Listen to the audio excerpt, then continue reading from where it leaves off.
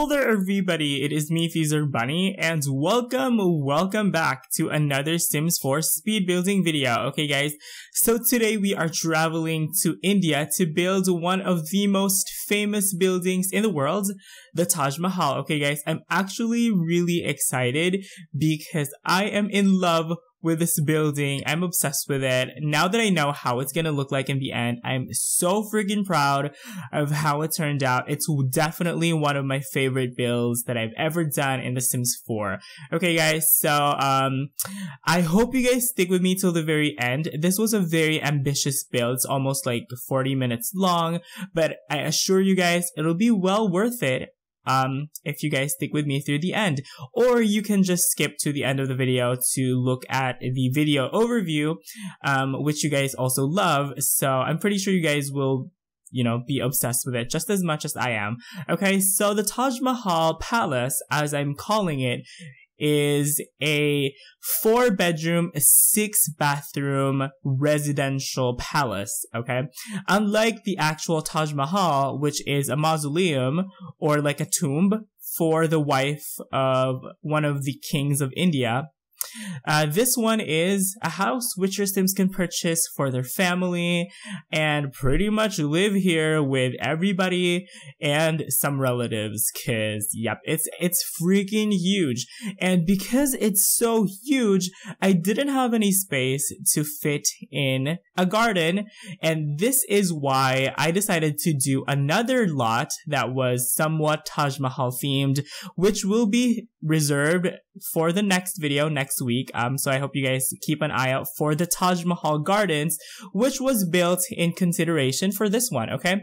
So, um, yep, the Taj Mahal is, as I mentioned, it has four bedrooms and six bathrooms.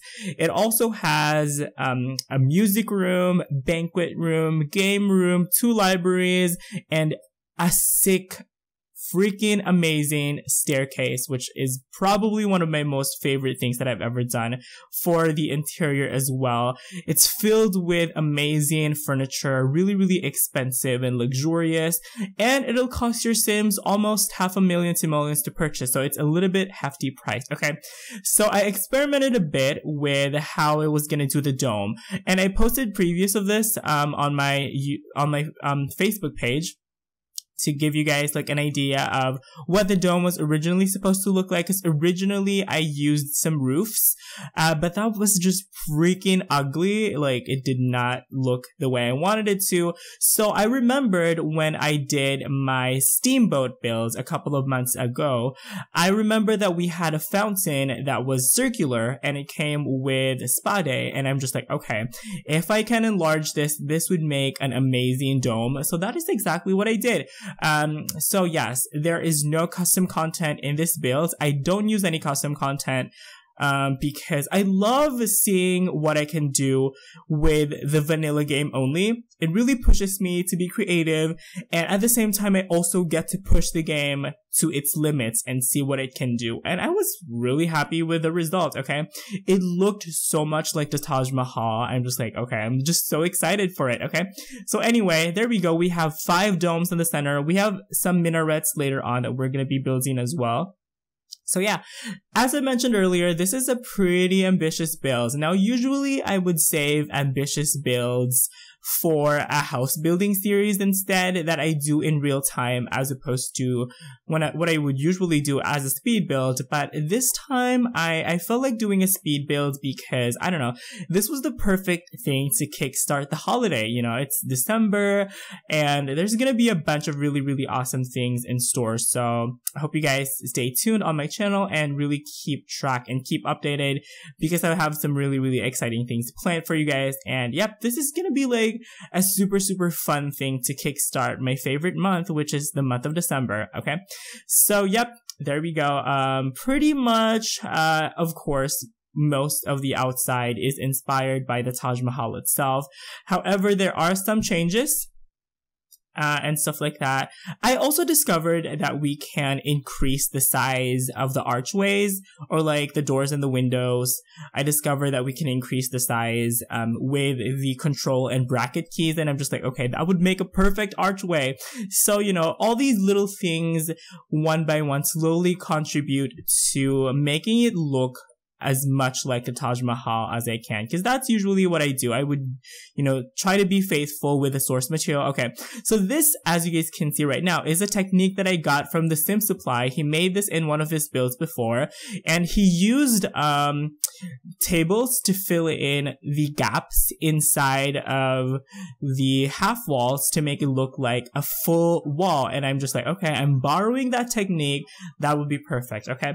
So yep, as you guys can see right now, it looks so much like the Taj Mahal already. The silhouette looks amazing. I'm just trying to experiment here with some, you know, with some wall paintings and stuff. So yeah, it's actually been a while since I've done like an ambitious build for speed builds. Um, the last one I did was, I believe that one was for the Mirage Tranquility Center, which was the build I did for a spa venue for the release of The Sims 4 Spa Day. And um, so yeah, it's been a couple of months and I do try to put a little bit of variety in the content that I make. So I, cause you guys would notice that recently I've been doing a lot of really medium sized builds.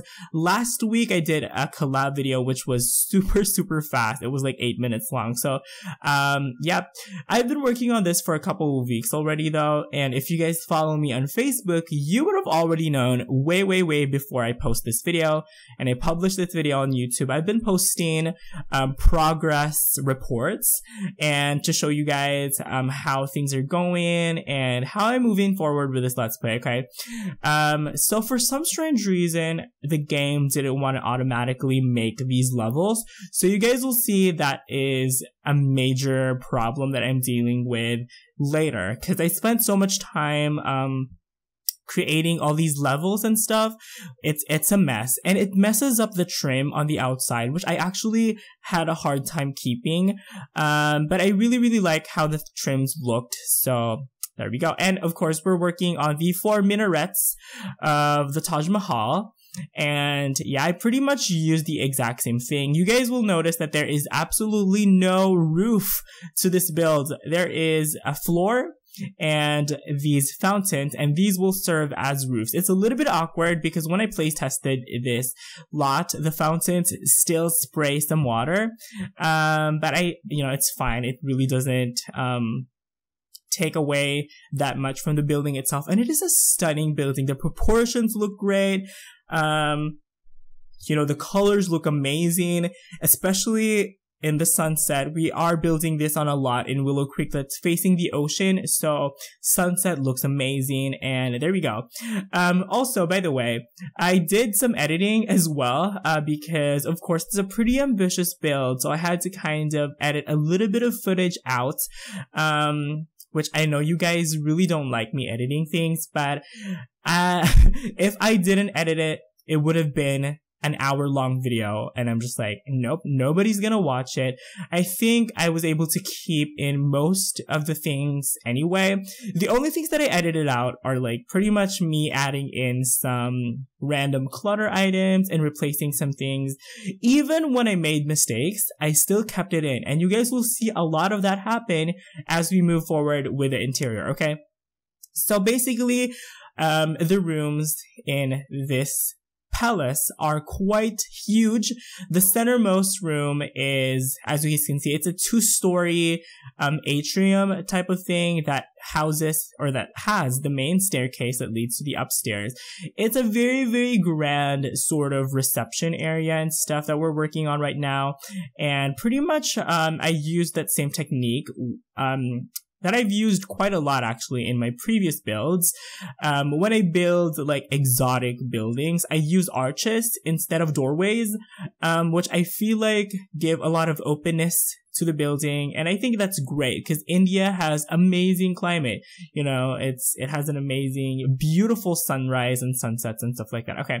So, um, one more thing that I was so happy with that I was able to do is I was able to use a lot of color for the interiors. So usually I would go for something a little bit more safe and a little bit more, um, you know, a, a little bit more conservative, I guess, but this time I was able to go all out rainbow color scheme, freaking amazing. Um, I did watch a lot of Bollywood films when I was growing up, especially like when I was a teenager.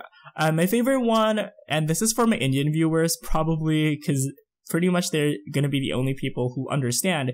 I watched Marigold, A Journey Through India, and um, one of my favorites was Salaam-e-Ishq, uh, with Salman Khan. Actually, Salman Khan was also in Marigold and stuff. He's one of the biggest actors ever, not only in India, even internationally. He's so famous and he was with Priyanka Chopra, which was the former Miss World in, um, Salaam-e-Ishq. So I love that. I love Bollywood movies because I love the music, you know, I love the music. I love the clothes and I love the beautiful people as well. So that's great. Okay.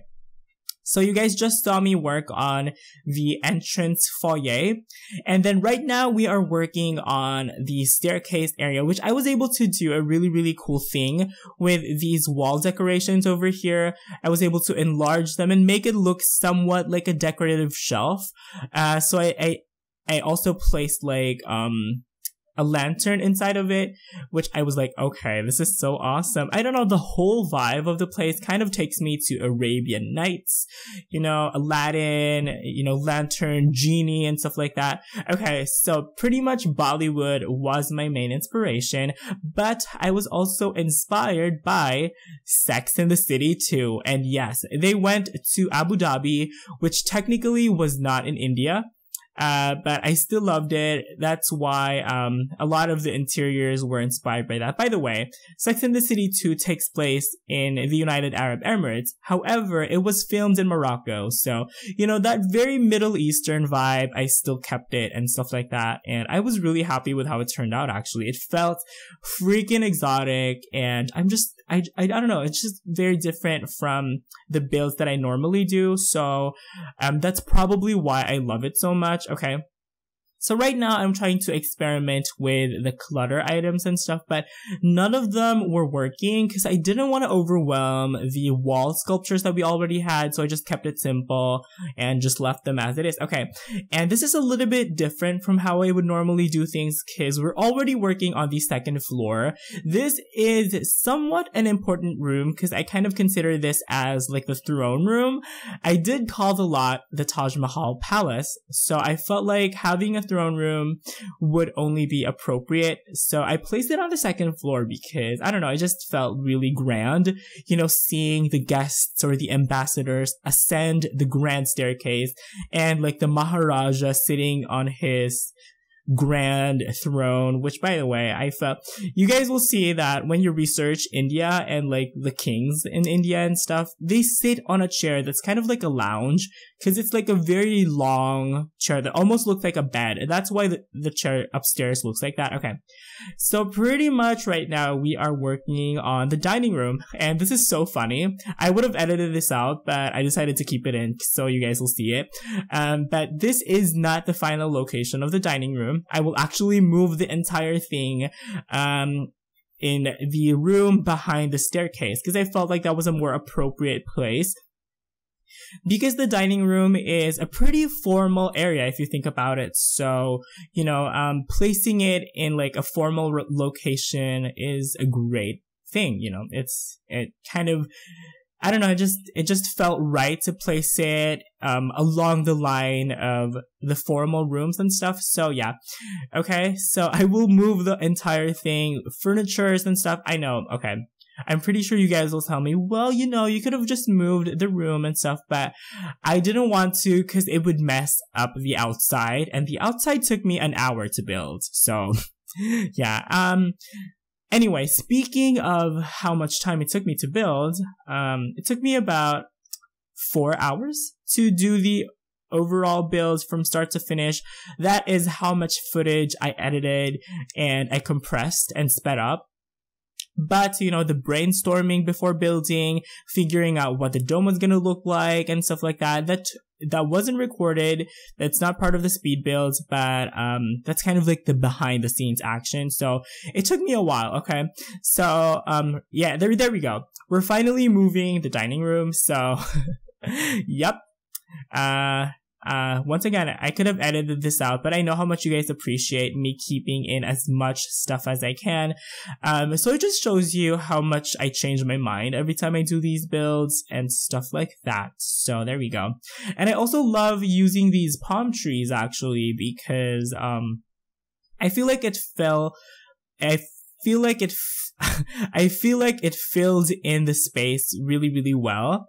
Uh, they were quite large and they occupied quite a lot of space, which is great because in this palace where we had huge, gigantic rooms, uh, we need as much clutter as we can. Speaking of clutter though, um, you guys will notice that this build is relatively sparsely furnished compared to my other builds. There's a couple of reasons for that. The first one is just the amount of time it would take me to literally personalize each and every embellishment. It's gonna make this literally like a 10 hour long speed build, which nobody's ever gonna watch. And, um, so yeah, I did make the decision to, um, furnish it sparsely because I felt like it was just, it was just right. You know, it's not exactly you know, unfurnished, but compared to my other builds, it is relatively sparsely and loosely furnished. Okay.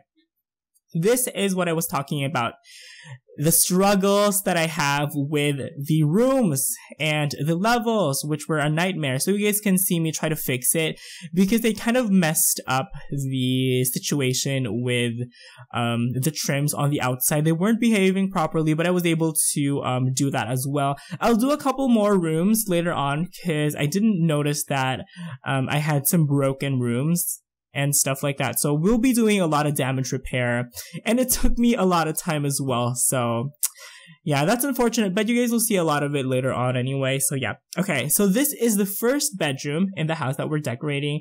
I love the colors. This was intended to be a guest bedroom. That's why it's downstairs. Um, it even has like its own hallway and stuff. So, okay. All the bedrooms have their own toilet and bathroom, and all the bedrooms have their own walk-in closet. How freaking insane is that? Can I just get a hallelujah from you guys? Yes. How awesome is it? Like, I mean, it's pretty grand to have, you know, a walk-in closet for all the bathrooms. So, I mean, for all the bedrooms, which is quite awesome.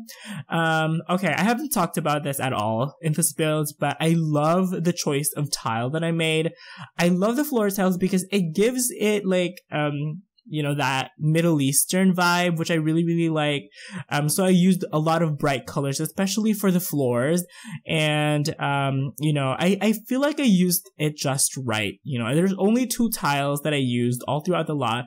And because I didn't use so many, I was able to give it a little bit of order and not make it too much chaotic because, um, I did play test the house and it was amazing to play in. You know, you could clearly see all the items.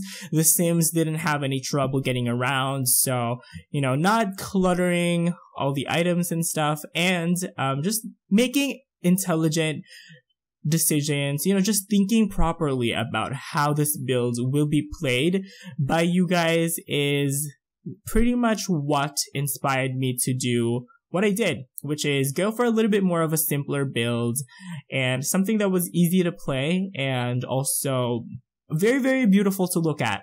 Um, I love the chandeliers. I've never talked about it, so let's talk about it now.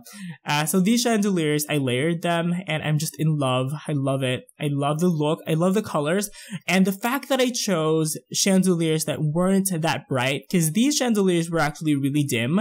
Um, so if you actually layer them, then you get just the right amount of light. Okay.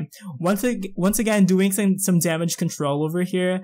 Cause yeah, it, it was a nightmare. It was like, it took me so much time. I'm just like, oh my goodness, what have I done? I wasn't paying attention when I was doing the outside. So I ended up with this really, um, messy interior. But, you know, you guys can see me address all the issues individually, one by one. And yeah, in the end, it, this turned out to be one of my favorite builds. So there you go. I think this is my favorite because of just the colors, you know, the, the way that I furnished it, which wasn't too overwhelming. Um, I feel like I did everything just right, which is a very, very difficult thing to do. Uh, cause sometimes I have a tendency to overly decorate. Uh, so, um, I did try to pull myself back because I didn't want to overwhelm you guys. Um, especially when, if you plan to play on this lot. Um, think about it. It has four bedrooms, six bathrooms, all these grand rooms, and um, you know, it's it's gonna be overwhelming either way. So I feel like making the furnishings a little bit lighter and kind of sticking to what's just necessary is a great way to keep it um, focused. There we go. I think that's the key word of everything. I just wanted to make things focused, okay? So you guys can make, or you guys can see me, um, do like a guest bathroom over there. There are actually two guest bathrooms in this, and both of them are right next to each other. Um, yeah, maybe one can be for the men and one can be for the women. Both of them have the same exact thing anyway. So, okay. Right now we're working on the living room of the house. So this is quote unquote the formal living room. Um, so there's a lot of seating areas in this house. So I don't see a need to have a living room, but it's, you know, it's, it's a basic requirement for every house. Every house has a living room. So we have to put one. And I think it's also a great use of space. You know, the fact that it's on the side kind of makes it feel a little bit more informal uh, and stuff like that. So that that was great. And by the way, I'm obsessed with the colors. I'm just like, yes, I love the color schemes that I used because they were like so unpredictable. You know, um, every time you think of India, you think of really, really strong, intense, spicy colors. But for the furniture, I used a lot of pastel colors. And if you actually look at Bollywood films and interiors in India, especially like during special occasions like weddings, a lot of people tend tend to go for a more pastel, you know, pastel fabrics, pastel, you know, cushions and rugs and things like that. And I think the pastel color scheme for the interior also ties in with the Taj Mahal. Cause if you look at the Taj Mahal, it is entirely white, you know, so if I made a white exterior and, you know, the interior kind of has to communicate together with that. And, you know, both of them have to form like some sort of relationship with each other. Otherwise, it would be, you know, not thought out, which is not how I want to do things. So definitely I worked hard, um, trying to make the interior relate with the exterior as well. And I feel like I'm very successful in doing so. Uh, so yeah, there we go. Oh, okay. So yeah, we just, we're finishing off with a kitchen and I have to say that that is one of my favorite kitchens that I've ever made. I love the shape of it. It's so unusual. And I also love the colors that I use for the kitchens. Um, and of course, we're not working on it now, so there's no way you guys can see what I'm talking about. Okay, so let's see here. Right now, we are working on the drawing room. Now, I introduced another new color over here. I, I used this kind of seafoam green color which once again, I'm obsessed with. All the colors that I use for the walls and for the floors. I'm just so happy with this lot. I mean, I, I know I keep singing myself praises, but come on, you guys. Isn't this awesome? Uh, so yeah, I was really happy with the color choices. I felt like it was really fresh and, um, I will unlock um, one item over here using the ignore gameplay unlocks entitlement cheat. I will unlock a piano and I, I'm obsessed with that piano because it comes in the exact same color that we have that that we have with the walls. And i'm just like yes this is perfect. There we go. That is perfect. See see how it ties in everything together and you know uh so right now i'm just looking at the proportions and things maybe throwing in a couple of clutter items. And finally, we are working on the second floor. Now, the second floor has three additional bedrooms. It has the master bedroom for the emperor or the king or the sultan, whatever you want to call him. So that's, this is it. Um, the emperor has a very, very, very large bedroom on the center of the lot, and it's very grand, and it's filled with some really, really awesome furniture, gorgeously stunning colors, and I don't know. Really, really awesome. Okay. So, um, you guys will see me use a lot of earth tones for the walls. And, you know, I mentioned earlier that I used a lot of really spice. and I mean, you know, the colors of India were very spicy-ish. Uh, so yeah, that's why I kind of used a lot of earth tones as well. Of course, the, um, the emperor's bedroom is this beautiful golden color, uh, because of course he's the emperor. He has to have the most royal looking bedroom. Um, by the way, one thing that I haven't mentioned is that I used a lot of candles as well with this lot. Candles that came with, um, spa day. I felt like that also added in, you know, a nice little exotic touch, you know, very Indian, Middle Eastern, Arabic touch. Um, so yeah, lots of candles and lots of lanterns because you know one advice that i should give you guys when you are building your homes is that try to use various sources of light not just rely on ceiling lights to get lights you know, or to light up your rooms because, you know, if you put different sources of light, like on the ground, on the walls, it'll give your rooms much more depth and much more dimension to them as opposed to just having a ceiling light. So that's that. Once again, using the same formula that I did downstairs to do these, um, foyer type of things or hallways, uh, cause, yep. So basically it's just copying the same exact items, the same color schemes, and literally the same things, okay? And right now we're working on the Emperor's entry hall, I guess. I don't know. I felt like this was a very insignificant room, but I feel like having like an entry hall for the Emperor's bedroom is gonna make it feel even more grander, okay? So the room that we're working on right now is actually the banquet room, which is a little bit weird because it's on the second floor. But what I had in mind for the banquet room was actually, um, so, you know, it's, it was for the family pretty much. So the family can hang out, grab some buffet things. You know, there is like, uh, the banquet room has, um, these items, which came with luxury party, uh, the fountain the chocolate fountain and the buffet table. So that's that. And it is right next to the game room. So I felt like it was a really casual space only for the closest members of the family. Of course, the game room doesn't have anything. It literally has a gaming table and that is pretty much it. Uh, Cause we don't have that much stuff in the game as of now. So, uh, yep. And then we are working on, let's see here, what are we going to work on next? Okay, so right now we're working on the two additional bedrooms that I have.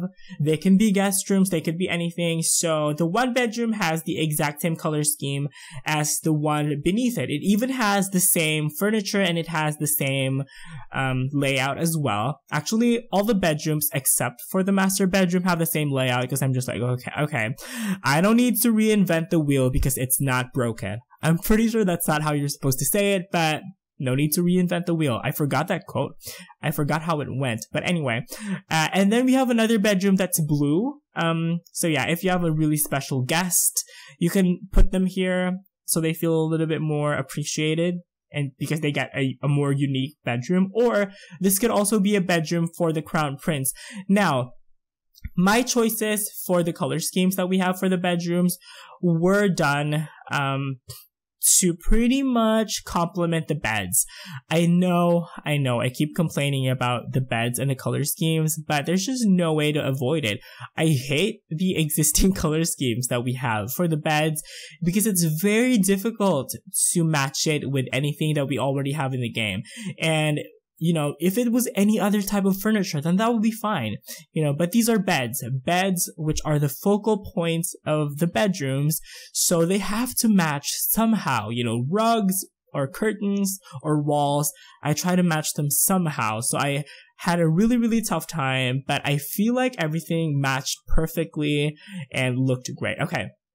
So anyway, this bedroom, which is exactly a replica of the one underneath it, has a different layout because it has two single beds. Okay. The one beneath it has, um, one double bed. So technically they can still accommodate the same amount of people, but I guess the other one can play host to maybe, um, two friends or two kids and stuff. I don't know. It's your guys' choice. You can do whatever you want. Um, I also used, um, another item that I used quite a lot were these, um, what are these things called? These um, dividers, I guess. Uh, so I used those a lot. The, dividers looked pretty oriental. Like the silhouette of these dividers looked a lot like the Taj Mahal because they're kind of like pointed arch. Uh, so I really like that. Okay, right now we're working on the master bathroom, and of course, plopping in a couple of dividers just to give our emperor some privacy because he does get some floor to ceiling windows. So he can just, you know, close the drapes or maybe move the divider to cover the, the bathtub and stuff. So yeah. Of course, this is the largest bathroom and, um, in order to access it, you have to pass by, um, the walk-in closet for the emperor. So, you know, it's very grand. I, can you guys believe it? The emperor's room or the emperor's suite is comprised of four separate rooms and stuff, so that's great. I love how I used the diagonal space. Um, I feel like it made the room feel a little bit different. And of course, I had to throw in that huge painting over there so that the emperor can look at the painting and pretend like he's in Italy because that's the subject of the painting, okay? And now we're just pretty much working on the outside. Once again, there is unfortunately no landscaping because as you guys can see, there's absolutely no space. Uh, but I was able to do some really intricate mosaic work, I guess, with the floors. Um, so you guys can see right now that there is like some sort of pattern to the platform or the foundation that the palace is in. And, um, there are like the grassy bits on the ground you guys can see. I will put some urns and, yeah, some urns and then I also plop in some flowers on those urns just to give it some foliage at least, right? Cause I don't know. Plus, I love that technique. I actually used that technique for the first time in this build. I've never seen anyone do it. So anyway, you guys probably don't get what I'm talking about since you can't really see it right now, but just give me a couple of seconds. It'll be there. Okay. So yep, pretty much trying to be inventive with the patterns and stuff. You know, mosaics are kind of a trademark of the architecture of India. So there we go. And of course, I chose a really, really dark grass um, because I felt like it contrasted really well with the bright coloration that we have, especially for the outside of the palace itself. Okay. And of course, I had to plop in a couple of fountains just to pretty much add in a couple more interesting things on the outside and also to somewhat reflect you know, the main entryway to the palace. Okay, so there we go this is what I was mentioning to you guys earlier. I placed some urns and then I felt like placing a plant on the inside would be perfect. So, um, I did experiment with a couple of sizes and a couple of plants, but I settled on this one actually, which I felt like, you know, was the, it was the same color as the grass, which was great. So I'm just like, okay, this ties in so well with the color of the terrain and it also ties in with the Taj Mahal since it has like white flowers and stuff. So there we go. And I placed the urn thing around the palace itself. So, you know, at least it's some sort of attempt to have some landscaping, right? Uh, but yeah, I didn't want to overwhelm the build. You know, it, it's just right. You know, I love the reason why I love it so much. It's just, it's, it's just the right amount of, you know, it's just the right amount of pomp and it's also the right amount of holding back to create something that's absolute perfection for me. Definitely, definitely one of my favorite builds ever. So yeah, pretty much adding in a couple more lights to, you know, light up the outside and stuff like that. It looks stunning on the outside, especially the domes look absolutely beautiful at night. So anyway, there you guys can see it. Uh, anyway, I hope you guys download this house. All the links will be in the description as usual. So we're gonna go ahead and move on to the screenshots, okay guys? Okay, so moving on to the screenshots, you guys can see both first and second floors of the palace. And you guys can also see the huge chandeliers. They look amazing in game. And I hope you guys enjoy playing this house because it plays really well. Okay. Once again, all the links will be in the description if you guys want to download. Okay. So anyway, that is going to be it for the commentary part of this video. I hope you guys enjoy this build. It's definitely one of my favorite builds and I'm so, so proud of it. And we're moving on to the best part, which is the video overview which you guys will see in just a second after I do my outro. So anyway, that's going to be it for the commentary part of this video. Once again, please don't forget to hit that like, favorite, and subscribe button because it really does help out the channel a lot. You all have an awesome, awesome, awesome day. Thank you guys so much for watching. Enjoy the rest of the video, and I will see you guys next time. Bye bye.